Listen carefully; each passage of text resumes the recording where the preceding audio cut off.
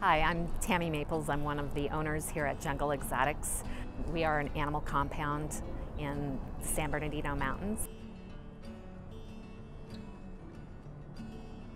Zuri came to us, we were filming a movie, and uh, he came as one of the cubs for the movie.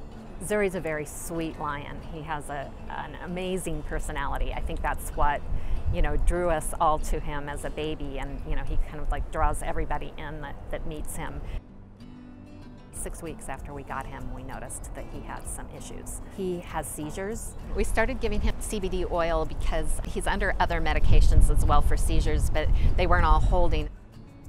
Vets don't know exactly what what the dosage is for everything. So the CBD oil was just some a maintenance to, um, to, to try to slow down and stop the seizures. It's been about eight months since he's had his last one.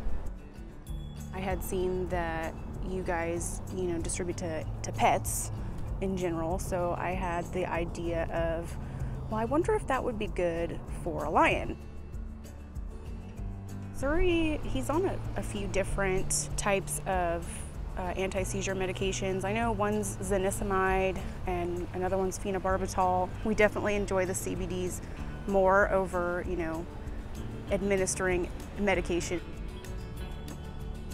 Working with Innovet has been very good. You guys are quick to answer and your generosity with helping us to experiment with the CBDs and see if it was right for the lion was very awesome.